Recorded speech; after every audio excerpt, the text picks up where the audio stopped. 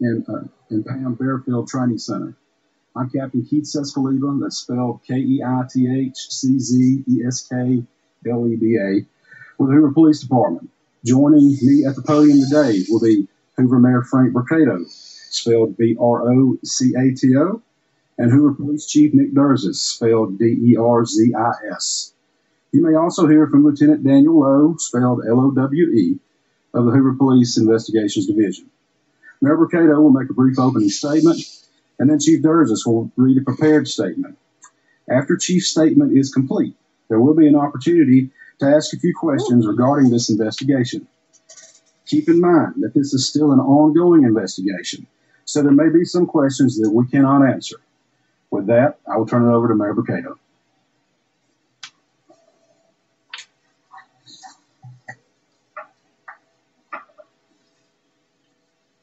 Thank you and good afternoon for you all coming today. You know, six days ago, our community learned about the disappearance of Carlee Russell, and it sent fear and pandemonium not just through our city, but uh, the entire state and the nation as well.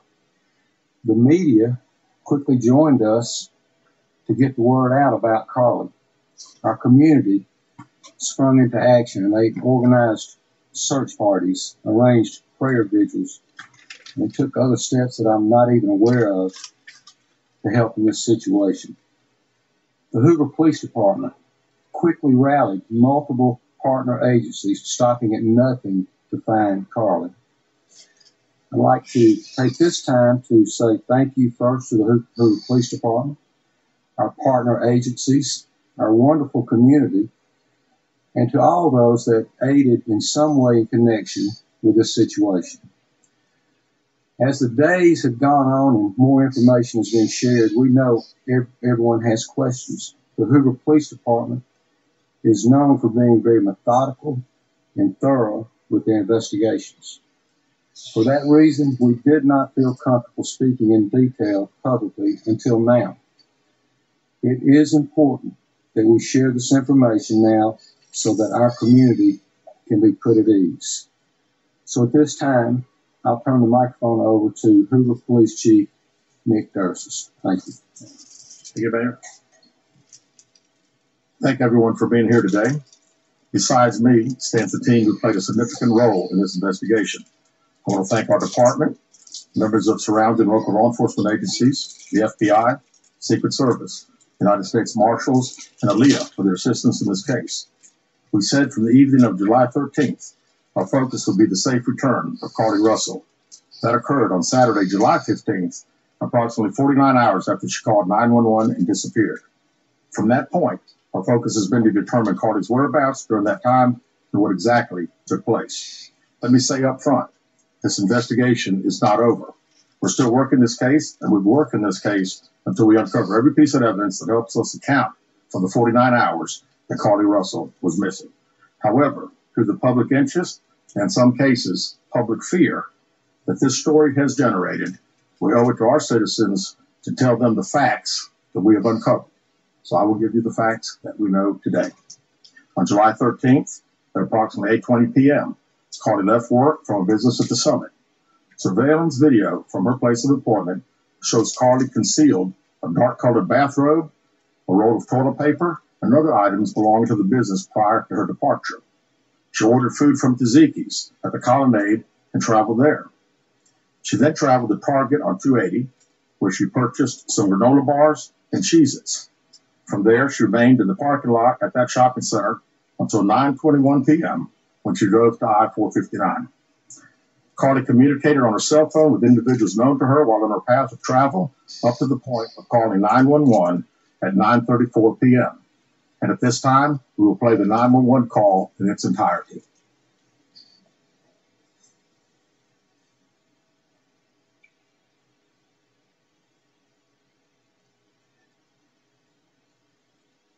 Recording just got better. Hey, it's Dana from StreamYard. I'm so excited to announce that local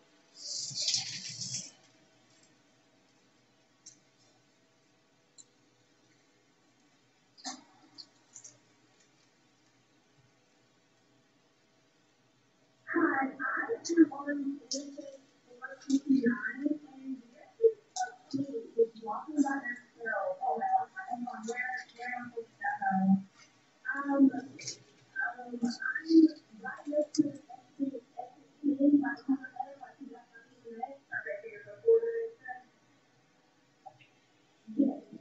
and we do a countdown or like no? Like, what that, what is the short community? Okay, and what's the count on what's the right side? On the right side. Would they want to mark that or drop down? Uh, they're walking into the community. Oh, drop down, oh, how they look. Um, what's the spot there? Like, maybe like three or four? Did you pull over with them? Are you still with them? Okay, you're free with the child right now? No, I'm not. I just got a car. I'm just not going to do that. Can you, do you mind saying to the island or would you say that? Yeah, sure, yeah. Okay, what kind of car is it? I'm in a Denver City thing. Is it a sedan or SUV? SUV. I mean, it's a, uh, Mercedes. Can you put your hands online? Yeah, definitely. Okay. Did you talk to John or did you say anything to them? Okay. Did they look like they're injured? No, they don't. Are they white like a friend or Asian? They're white. Okay. Is it male or female? Like male? Okay. Is he wearing clothes? Yes. Okay. What is he wearing? Um, it's a white t-shirt. He doesn't have to have any jeans or it looks like a backpack. So you don't see any cars anywhere? No, no cars anywhere.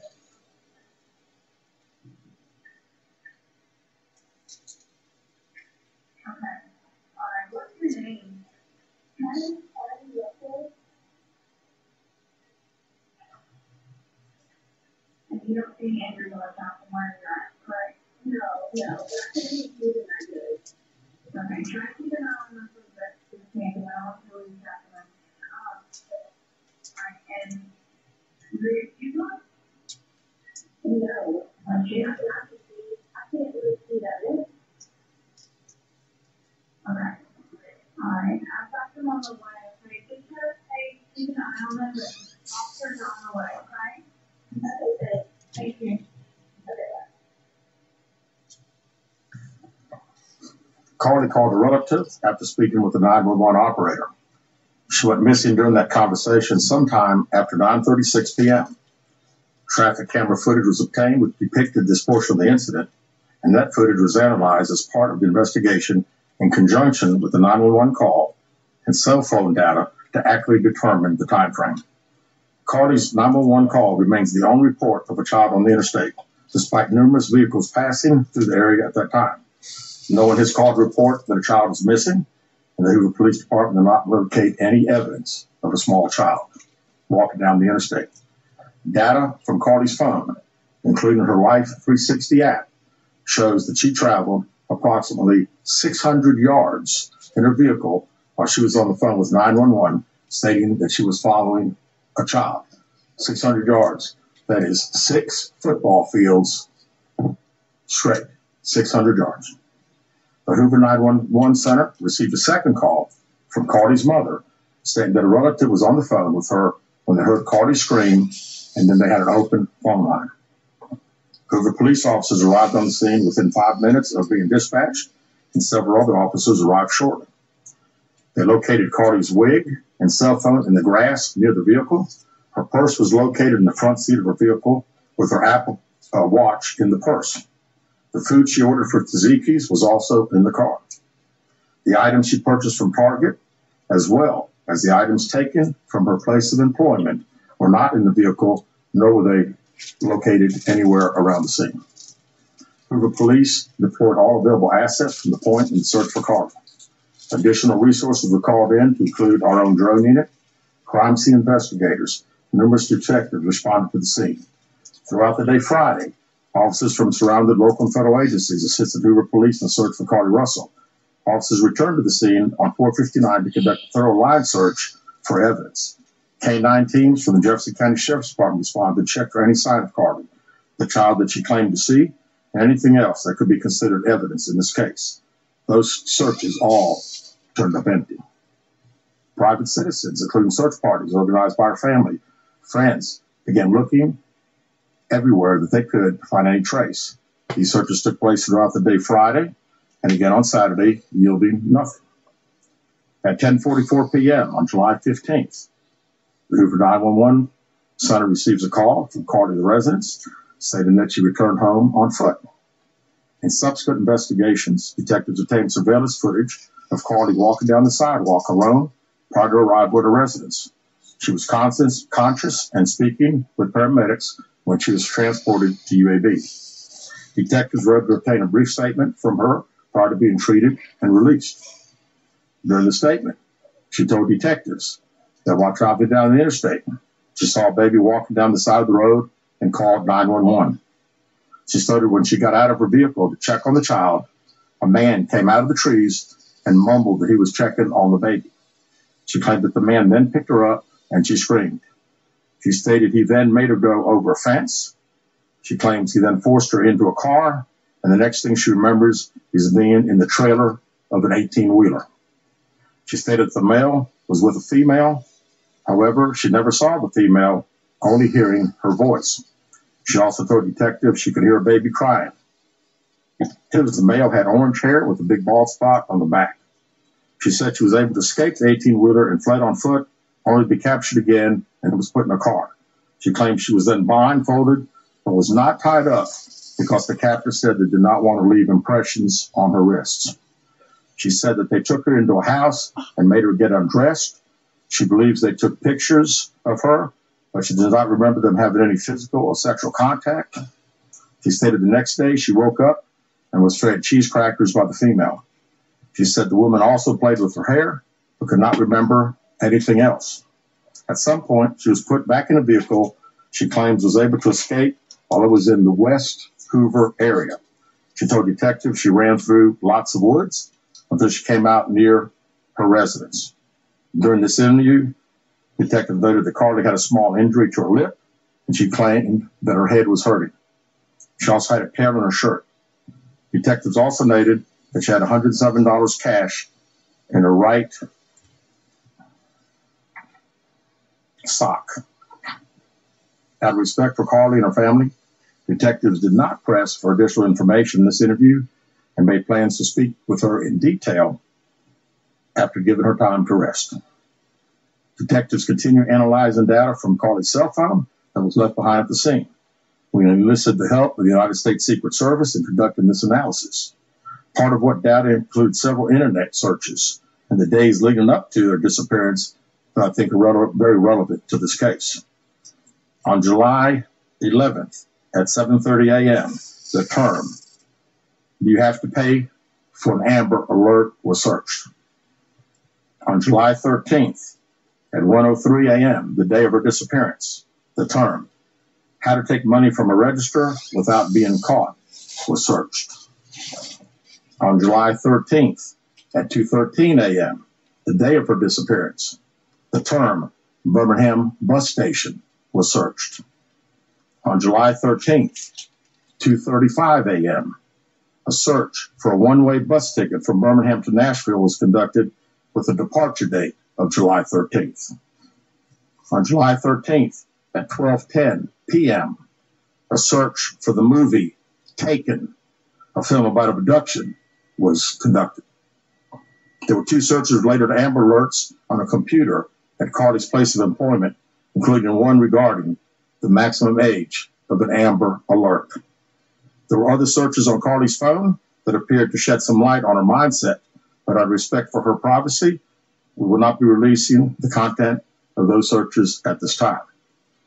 We've asked to interview Carlee a second time, but have not been granted that request. As you can see, there are many questions left to be answered, but only Carlee can provide those answers. What we can say is we've been unable to verify most of Carlee's initial statement made to investigators, and we have no reason to believe that there is a threat to the public safety related related to this particular case. Thank you very much. With that, we'll open the floor for some questions. Please raise your hand and I'll call on you. Carol. Do you expect any charges against Carlee Russell in connection with the disappearance and in connection what was from the? Right now, our focus is to determine those 49 hours, so the investigation continues. So to be perfectly honest with you, that hasn't even uh, entered our mind or been discussed. All right, y'all. Y'all have heard what the police said regarding Carlee, um, which is very unfortunate. Reminds me of Tawana Brawley and that whole fiasco. Um, unfortunately, you're probably gonna go to jail. Your family, you're gonna be charged a lot of crime, uh, a lot of fines you're gonna incur with this stunt that you pulled. Um, I don't know what would make you think something so serious that you complained about would not bring the wrath down of the police force and every other force and people to come and look for you. I don't understand how you couldn't have that much forethought. You just foresight to even see that what you were doing. I thought about Oprah Winfrey. Y'all probably said, what the hell Oprah got to do with this? Oprah said one time when she was little, she didn't want to wear no glasses. Okay? So what she did was she took the glasses, it was those cat glasses that we had to wear in the uh, 60s. And most friends that I knew that had to wear glasses, they didn't like them either. Um, she took the glasses and she hid them, broke them, throw them away or something, and faked that somebody had broken the house by overturning the furniture and you know making the house in disarray. And so when the police got there, they determined that the only thing was missing was Oprah's glasses. And so by this point, Oprah had feigned that she had had amnesia. And so when her mother was when her mother was like, "What happened?" Um, she she was like, she said, "What you say?" And Oprah was like, "I, I don't know. I can't remember. I don't know who I am. I can't remember where I'm at." And she said that the uh, the police, as they was writing this stuff down, Oprah's mother looked at her and Burley said, "You don't stop this. You know how the black mama talk with their teeth clenched. You don't stop. I'm gonna." And at that point, Oprah said, "Oh, I think my mind is coming back." And it was so obvious. Nobody broke in the house and stole those glasses. That's the only thing they wanted. This case was so bizarre, and we were so quick to jump on it, but because the seriousness of it, when somebody says that a baby is up on the highway, I mean, what do you expect? However, now it looks like it's a Jussie Smollett type of situation. And um, trust me, baby, you should be punished. If you did this because allegedly you were mad at your boyfriend for seeing a stripper, and you put all those resources out for nothing when somebody else could have used them. I really don't want to hear no black and white stuff. I don't want to hear they only doing it because she black. I don't want to hear none of it. All I know is she should be arrested. But first she need to have some comprehensive mental health evaluation. She must have an evaluation because uh, that one was pretty far. Oprah was a kid. And I think you can expect kids to do crazy stuff like that. But a fully grown ass woman, uh, uh. so with that being said, y'all, let me hear what y'all think about the young lady. I don't want to get too hard on her because, um, know, that that's definitely an emotional issue, a mental issue. But that don't stop y'all from telling me what y'all think leave your comments below. If you like what you hear, please like, subscribe, and share. What did your mama tell you about life? Yeah. You know it wasn't polite to tell a white lie. What did your daddy tell you about life?